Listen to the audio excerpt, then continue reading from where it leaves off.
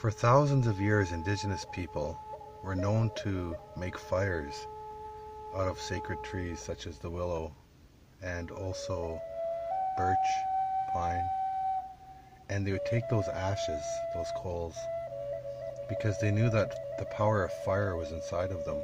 And they would paint their sacred designs into their skin through sacred tattooing. And it was a way for us to show the natural world and the spiritual world who we were. And it connected us to everything that was sacred on the earth. And it was a way for us to, to be a part of all living things. And so, right now in 2017, there's a rekindling of the sacred fire that burns in people. And it's coming back. The symbols are coming back. Everything is coming back. The sun doesn't take a step back, the sun keeps going forward.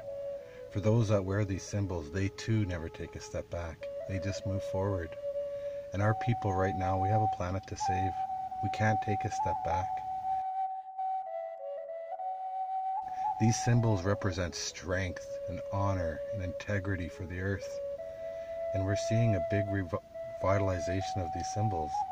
And it's so important that we gather to talk about this because right now the two legged are on a quest to destroy the entire earth. And the very thing that might stop them are the symbols that people wear on their bodies. Right now we're having a fundraiser to try to, to get people to this gathering at Nimkii in Northern Ontario.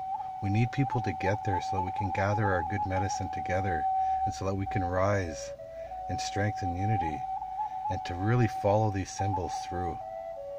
And so we're asking for support we're asking for people to band together to help because of course we know all these things takes takes resources and time. And we're just a poor people but we can do this